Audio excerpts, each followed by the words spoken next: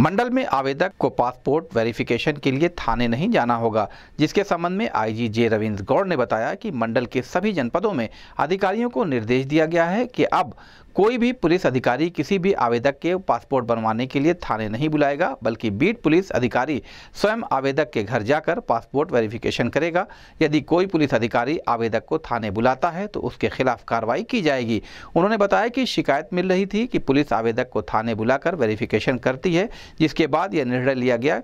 इस संबंध में गोरखपुर न्यूज़ से बात करते हुए आईजी जे रविंद्र गौड़ ने कहा। आदेश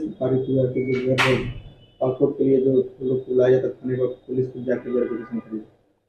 पासपोर्ट वेरिफिकेशन पुलिस द्वारा किया जाता है, जिसमें मुख्यतः उनकी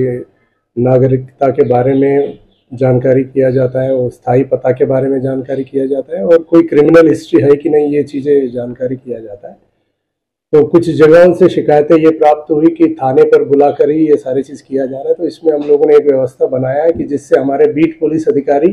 निवास स्थान पर जाएँगे और ये सारे सत्यापन करेंगे। सत्यापन करने के बाद समय सीमा के अंदर ही रिपोर्ट दाखिल करेंगे और किसी भी पासपोर्ट आवेदक को थाने पर ना बुलाए जाने के लिए आदेश दिया